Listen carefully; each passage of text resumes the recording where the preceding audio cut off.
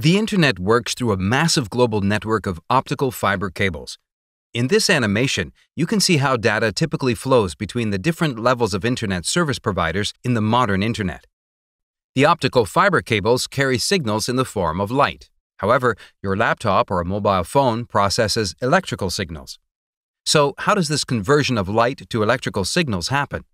And more importantly, why is the Internet structured the way it is today? Let's talk about the structure of the modern Internet. This animation shows different Internet service providers. For instance, AT&T is a Tier 1 ISP. You can see how optical fiber data starts from the landing stations and reaches your home, passing through many levels of ISPs.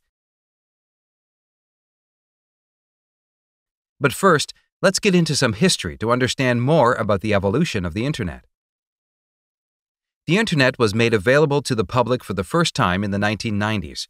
The very first Internet used the same line cables as your telephone, specifically coaxial copper cables, and it worked completely on electrical signals.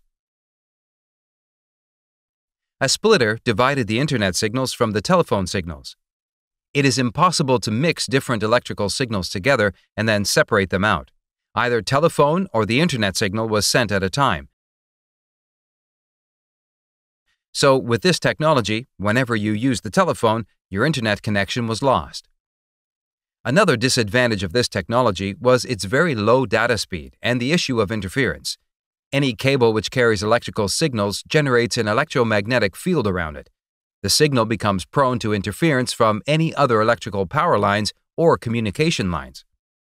In short, it is not a good idea to transfer internet signals in the form of electrical pulses.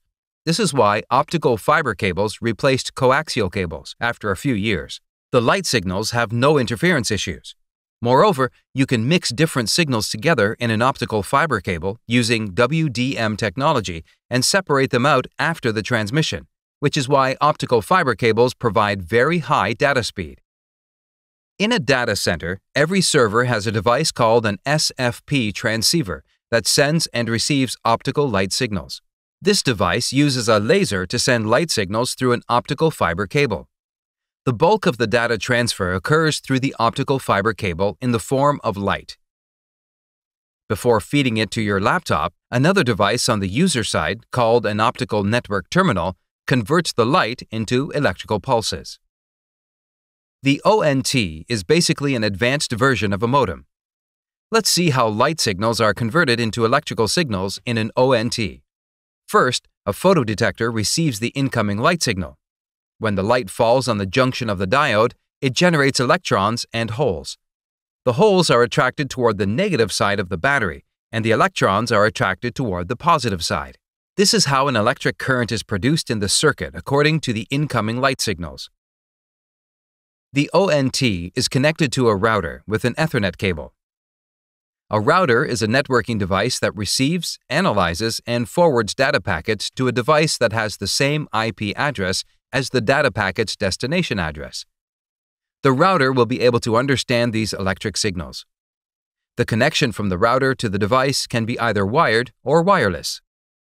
Advanced Ethernet cables can transfer data at speeds between 10 to 40 gigabytes per second. But as we know, transferring data through copper wire has an interference issue. Length of the Ethernet cables are limited due to this issue.